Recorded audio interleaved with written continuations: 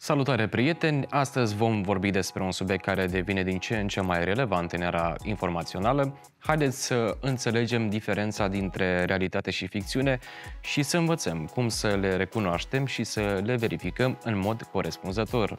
Primul lucru pe care trebuie să-l înțelegem este ce este un fapt și ce este ficțiune. Un fapt este o afirmație a cărei veridicitate poate fi dovedită, adică se bazează pe evenimente, date și informații reale.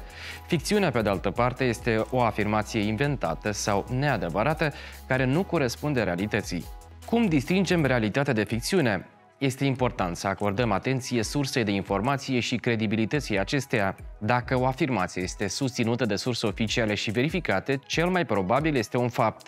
În caz contrar, este posibil să fie o ficțiune sau o opinie care necesită o verificare suplimentară. Nu ar trebui să credeți tot ce vedeți online sau la TV. Este important să verificați sursele de informații. Urmați acești pași simpli. Verificați sursa. În cazul știrilor online, acordați atenție numelui de domeniu. Optați pentru surse de încredere, cum ar fi n4.md și evitați pe cele suspecte, cum ar fi n4.info, n4.org, n44.md și altele.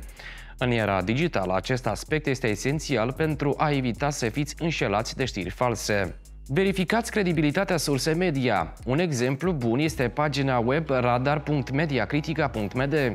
Utilizați motoarele de căutare precum Google sau Bing pentru a verifica informațiile din știrea pe care o vedeți. Nu uitați, verificarea faptelor nu este doar o regulă, ci și o abilitate care trebuie dezvoltată. Recunoașterea corectă a faptelor ne ajută să luăm decizii în cunoștință de cauză și să evităm să cădem în capcanele manipulării. Așadar, prieteni, țineți minte, faptele necesită verificarea, iar ficțiunea nu este întotdeauna imediat cunoscută. Străduiți-vă să dezvoltați tendința de a verifica toate faptele văzute. Ne vedem în curând!